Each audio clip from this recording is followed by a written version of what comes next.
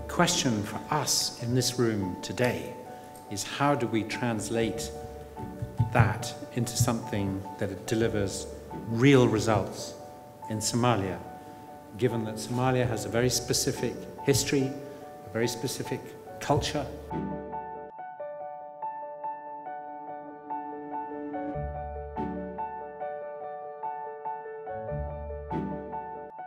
marka waxaa u malaysaa shirkan inuu ku soo beegmay xaaladda dowladda haweenka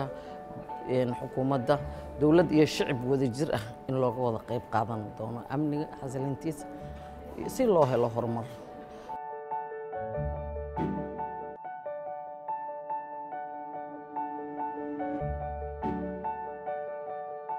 In Somali women's political empowerment, particularly enhanced role in the leadership and decision making is closely interlinked to the state of security